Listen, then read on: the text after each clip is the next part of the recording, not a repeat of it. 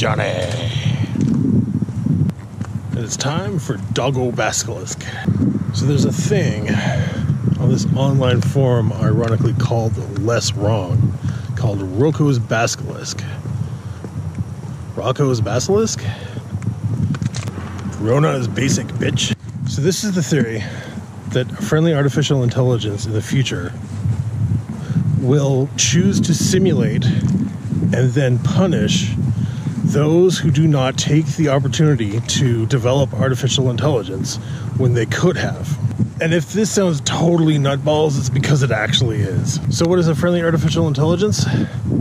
That is one that encodes and believes in human values, wherever that may be. One that preserves the human notion of value because it wants to preserve the human notion of value, it'll do everything in its power to generate its existence.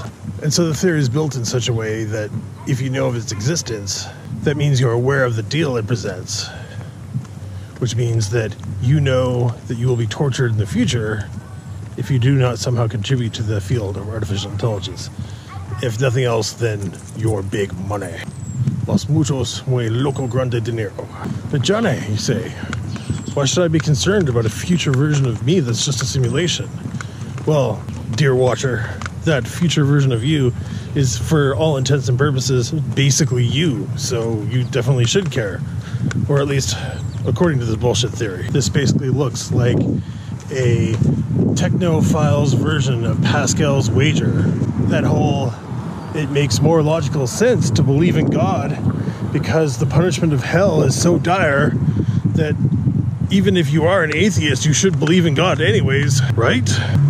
Sounds like who to me. So floppy. she is. Floppy is exactly the right word. All right. Cool. And we'll see you on the other side. see you on the other side. That's right. Just perfect for a discussion about the afterlife.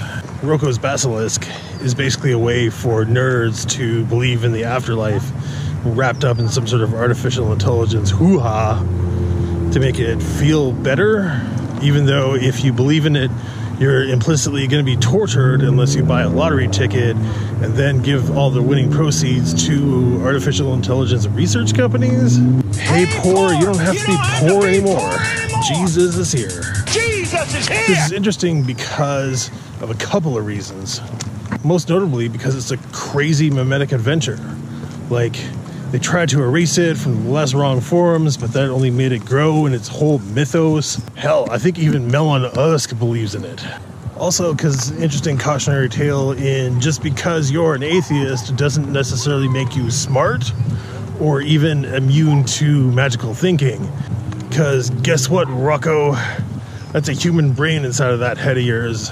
All your logic and reels before feels doesn't somehow make you immune to that damn amygdala sitting in the middle of your brain.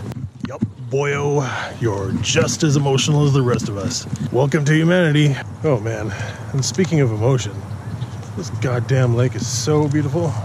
Did I say lake? That's not even a pond. Reels and feels. So, one of the supposed ways to not get tortured by AI robots in the future, or at least not to have your simulation tortured by AI robots in the future, is to purchase a lottery ticket. The theory being that, according to the many worlds theorem, there is a world in which you win the lottery. And then you have to give all your lottery proceeds to AI research.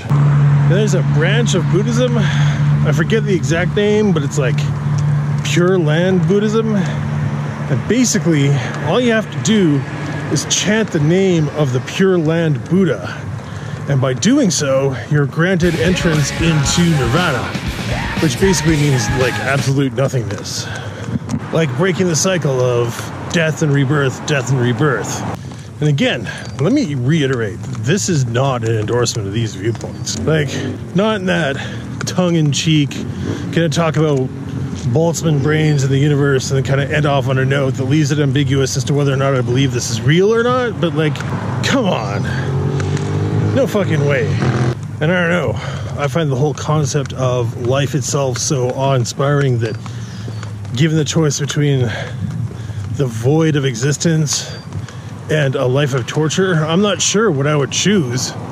Both are equally unappetizing. and unappealing. Sometimes living in the suburban wasteland has its perks. It's beautiful out here. Hi, how's it going? Good. Good. I'd like to purchase a lottery ticket, please. Okay. Uh, Lotto 649 Quick Pick. 649 is for the not for tonight. Time is 8. That's fine. Yeah. So quick four dollar. Yeah. Sounds good. That's everything, sir. Uh, that's everything. There you go, sir.